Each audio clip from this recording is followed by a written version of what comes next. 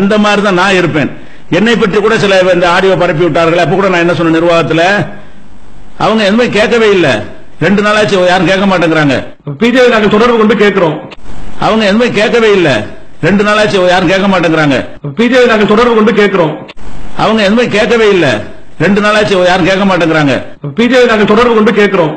நான் தான் வாட்ஸ்அப்ல போட்டு இப்படி ஒரு இருக்கிறது இது அப்பட்டமான பொய் நீங்க விசாரணை நடத்துங்க.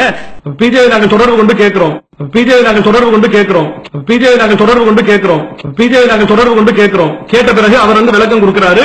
இது அப்பட்டமான அவதூறு. இது பொய்யாக தயாரிக்கப்பட்டிருக்கு. தலைமை ஜமாத்தின் மூலமாக எந்த விசாரணை நடத்தினாலும் அந்த விசாரணைக்கு உட்பட தயார் என்று சொல்லி அவங்க வந்து சொல்லிடுறாங்க. அப்ப நாங்க நிர்வாக குழுல தான் இருக்கிறோம். பிஜே அவர்களை தொடர்பு கொள்ளக்கூடிய நேரத்தில் சந்திக்க தயார் விசாரணை சந்திக்க தயார்